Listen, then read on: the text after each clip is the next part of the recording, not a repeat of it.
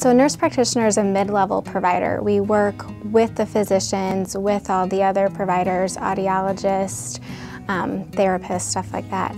And we work with them to collaborate to give the best care as possible to our patients. Something that I'm starting to specialize in in otolaryngology is the treatment of migraines and sinus headaches, and that is really my passion. I love spending time with those patients, figuring out how their headaches are impacting their lives, and working together we are able to figure out a treatment plan and help increase their quality of life. By far, I love patient education. That's why I went into nursing, that's why I'm a nurse practitioner, and that's why I love seeing patients, because I love educating the patients and helping them figure out whatever their condition is, whether it's a sinus infection or whether it's migraines, how can we figure out how to treat them the best and what lifestyle things that, they can do to get better.